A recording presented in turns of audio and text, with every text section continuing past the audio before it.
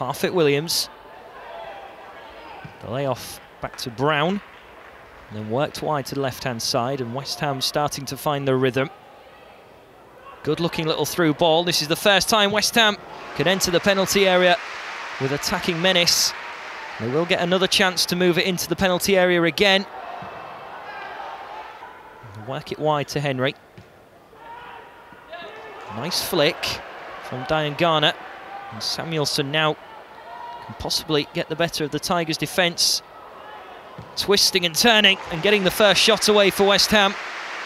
And Rory Watson, as the ball would have popped up through the black and amber traffic in front of him, he'll have been able to easily see that one coming. And he didn't have to dive too far. Now with Tymon. Played down the line very neatly. Very nice footwork as well from Greg Olley into the centre. And the Tigers get their first shot away. But it is off target, and Ben Hinchcliffe was the man producing the shot just outside the six yard box. So another set piece opportunity for West Ham. Browne doesn't beat the first man. And cleared away by Greg Olley, who's barking at his players to come and join him in squeezing West Ham United. Got the opportunity to play the ball into the area again. Big save from Watson. Danger not over. Cross fired in again by Diangana. And it could drop kindly here for Parfitt Williams and a strong save from Watson. And he was almost called upon again, but the ball going wide of the target. Well out of danger by the Tigers and a free kick again. Similar circumstances to the way Doneil Henry was booked, bringing down the last man. And for the fourth time tonight, Andrew Miller produces the yellow card. Two and a half minutes to go before half time. We have a change in scoreline here. Tigers with the free kick. Played in, flicked on, and then Spiegel we can comfortably save.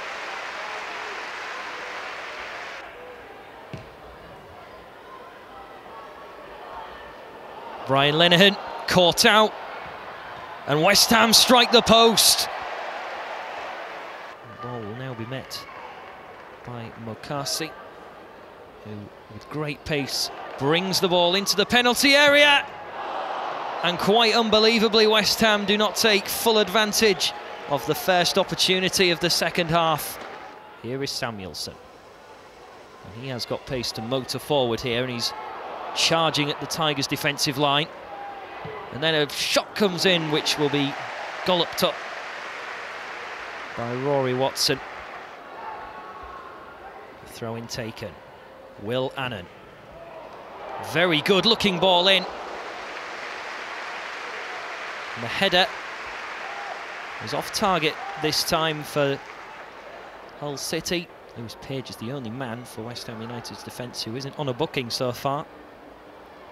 Tigers can get in their faces and force them into more fouls. West Ham could be playing with less than 11 men. Clark will swerve the ball in. And then the volley played in. Just couldn't keep full control of the ball. Clark. Greg Olley. Tigers, can they get a shot away with this attack? Worked wide to Josh Tymon right out by the touchline, so work to do here for the number three. Produced a good-looking ball in. Ben Hinchcliffe was so close to giving the Tigers a 1-0 advantage. West Ham United in the first leg scored in the 90th minute through Parfitt Williams, who couldn't have the same sort of influence on the game this time. Here's Tyler Hamilton moving forward. Is this the chance then for Hull? They play it into the centre from the cross, and it was a fingertip save by Raphael Spiegel, just making sure. Bodies charging forward now. Watson in a hurry to clear. Sent forward, looking for Johan Horst. McCarthy. Gathered by Batty. Played left. Can Hull strike here in the dying seconds? Big save from Spiegel. So Horst has it. Will Annan! Oh, how about that for a finish?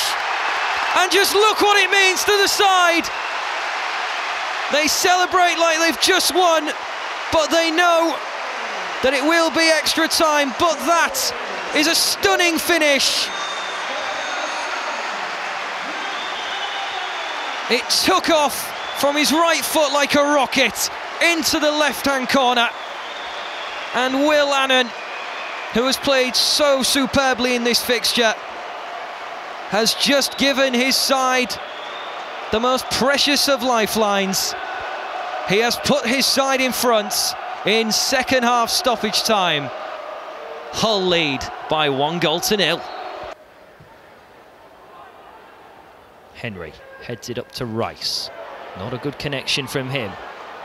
So his number four counterpart Clark will take the ball in his stride and shoots from range, but just over the top of the crossbar from him.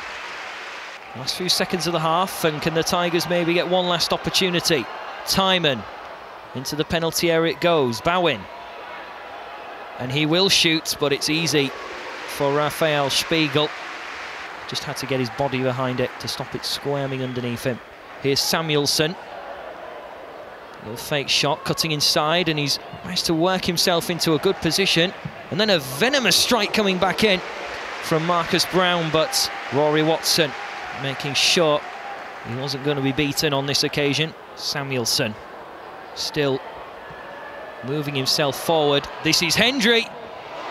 And a big save again from Rory Watson.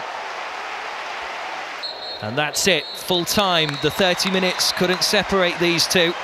So we're going to have penalties for the second consecutive cup game for the Tigers. They have won after 120 minutes by a goal to nil, but it's 1-1 on aggregate, which means it's going to be a battle from 12 yards. This is the first penalty then. It's Browne versus Watson. And Marcus Browne converts. The first man for the Tigers. Is he going to keep Hull City level? Only just. Raphael Spiegel getting fingertips to it, but it wasn't sufficient enough to stop the ball nestling in the back of the net. It's 1-1. West Ham United's captain's up next, Reece Oxford. He's played at the Emirates Stadium for the first team and played exceptionally well. But as he got the bottle to put that ball past Rory Watson and make it 2-1 for his side. Reece Oxford scores bottom right hand corner. It's now time for Daniel Batty to step up. Can he make it 2-2? He can't, it's saved. Went for the same corner as Reece Oxford. And he went the same way as Jarrod Bowen went for the first penalty. But the goalkeeper, Raphael Spiegel, has managed to deny Hull substitute Batty. So it's West Ham 2, Hull City 1 after two penalties. And the man who is probably the most expensive player to play in this competition, Sam Byram, will slam the ball home and give West Ham a very good advantage indeed. It's now 3-1, straight down the middle, no nonsense stuff from him. Big run up this for Brian Lenihan. And he coolly converts. Spiegel going the opposite direction this time. Lenihan sticking to the right-hand side just like everybody else has. Substitute Stephen Hendrie up next. Who made things difficult for Hull City's defence when he entered the fray. Picked out a few good crosses, but has he got the nerve to convert his penalty? Watson gets a hand to it, but it's in the back of the net. Tyler Hamilton needs to convert his penalty. Otherwise, West Ham United will be taking the trophy back to East London. Can he do it? Can he keep Hull in this contest? He can. 4 3. But Martin Samuelsen, who had a great opportunity in the first half to score, is going up next. Penalty taker number five. Can he make it five out of five? And crown West Ham United champions of this year's Premier League Cup. Rory Watson very nearly kept the last penalty out. Is he going to this time? It's Samuelsen, and he will win it for West Ham United. Coolly converted, and for the Tigers who have tried so hard in this fixture, they have gone unrewarded for their efforts. West Ham United are the champions of this season's Premier League Cup. Five out of five penalties. Tony Pennock and his coaching staff will know they have left everything on that pitch this evening. They have performed exceptionally well, but they have gone unrewarded. But you've just got to know that against a side like West Ham United, it's never going to be easy.